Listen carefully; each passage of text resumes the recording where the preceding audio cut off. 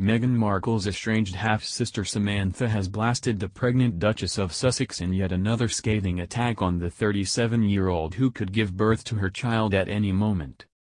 Giving a candid interview in TLC's program, Meghan and Harry, A Royal Baby Story, Samantha makes comparisons between her half-sibling and Kate, Duchess of Cambridge.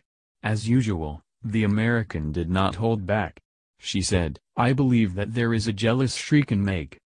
She does like to be the center of attention. I feel like that's a part of what is happening now.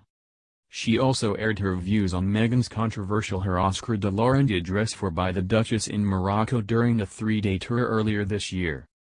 The dress caused a stir because it cost British taxpayers a staggering £100,000, $130,000.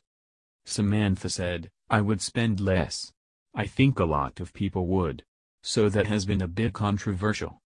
She also talked about Meghan's strain from royal tradition and reports she will have a home birth and will not make an appearance with her new baby afterwards, like Kate, Diana and even the Queen did. She said, I think between her own natural endorphins and peace and meditation, and the medical staff standing by, I think she will do very well.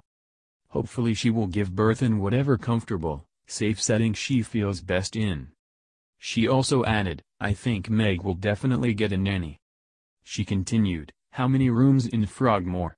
I can see them all being filled with nannies. Meghan is very strong-minded, and there will definitely be a butting of heads but Meghan could learn and grow from that.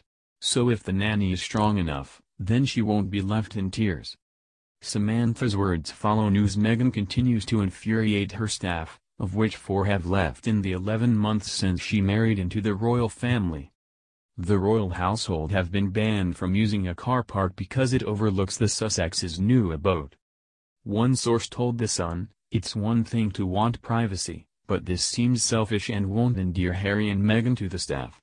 Everyone's calling them NIMBYs, meaning not in Meghan's backyard. Staffers have been urged to use the King Edward VII public car park, which is on the other side of Home Park and means a lengthy walk for many.